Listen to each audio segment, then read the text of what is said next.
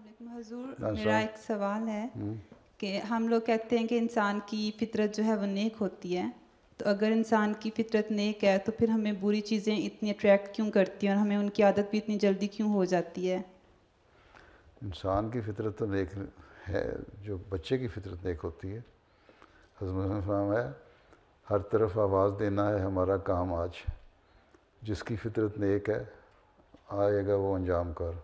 इसका मतलब सारों की फितरत तो नेक नहीं होगी, ठीक है?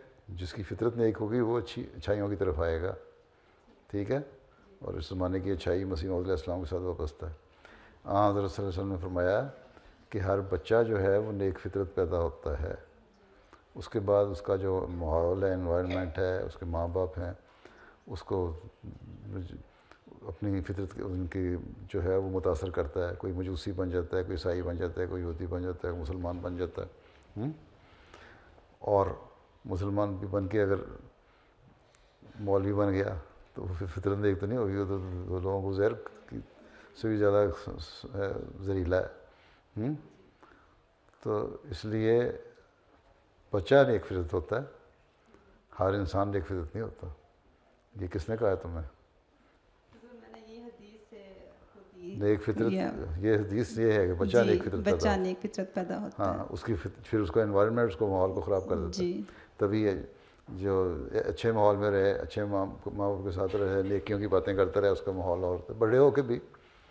जी। अब ये जो दूसरी जो ख़ातून थी जो गिल्डर लेके आई थी हज़ार गिल्डर की बात की इन्होंने। उन्होंने भी ये कहा कि मैंने सारी उम्र गलतियों में और गुनाहों में गुजारी और मैंने फितर तो अब मुझे मेरी असल असल जो अंदर का इंसान जागा है और मैं मज़हब की तलीम मुझे हुई है और अब मैं उसके बावजूद इसके कि मैंने अपनी सेविंग की हुई थी ये मुख्तलिफ़ वक्तों में एक हज़ार गिल्डर वो सारी सेविंग लेके आ गई हूँ इसलिए कि अब मैं दीन की खातर करूँ उसको माहौल ने असर किया और वो जो छुप फितरत ने एक लेके पैदा हुआ था जिसको माहौल ने ख़राब कर दिया था वो दोबारा फितरत उसकी नेकल हो गई। और जिनकी फितरत ठीक हो जाएगी वो अंजाम कार आएँगे। जिनकी नहीं होगी वो नहीं आएँगे। ठीक। ठीक? है